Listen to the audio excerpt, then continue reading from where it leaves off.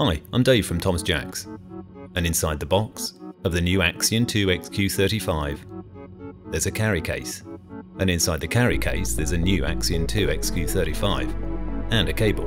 There's also a power adapter, a tripod adapter, a spare battery locking cover, and a lens cloth. Of course it comes with a rechargeable battery, that lasts up to 11 hours and is easily swapped, as well as an adjustable hand strap. You get a quick start guide, Wi-Fi instructions and a 3-year warranty. This is the Axion 2 XQ35, pocket-sized thermal monocular from Pulsar Unboxed. And if you'd like to see more, subscribe, follow or like.